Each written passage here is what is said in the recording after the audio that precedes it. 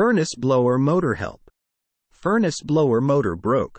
Part was ordered from manufacturer and installed today. It sounds loud with a kind of deep undertone. I thought at first that machinery was running outside my home. Not so. When it cuts off, it makes a noise as the fan winds down.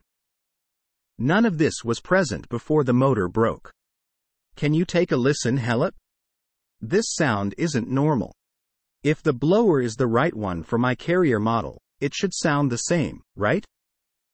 Question from user Dry Mycologist 3847 at HVAC Advice at Reddit.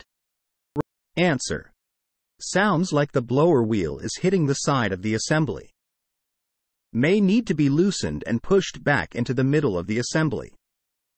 Answer from user WHS87 at HVAC Advice at Reddit.